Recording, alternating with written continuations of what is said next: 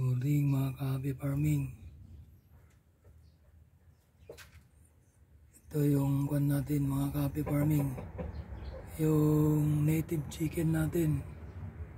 Naglilimlim may mayroong labing anim ang eggs niya.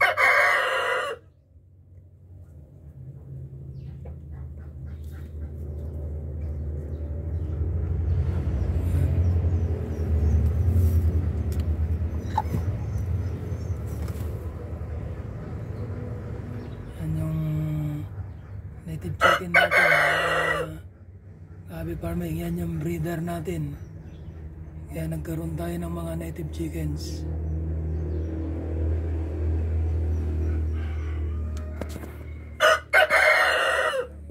Yan, yung breeder natin. Paramihin natin yung mga anak nito.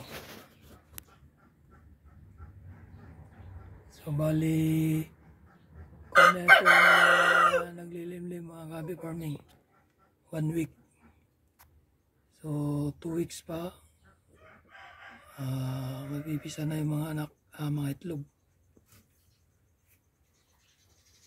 Okay hanggang sa muli mga gabi farming. Ito lang ang may share ko sa inyo sa araw na ito. Nawa, lagi niyong tangkilikin ang aking channel, Joe Creator TV. Para sa ating mga backyard farming, mga baby farming.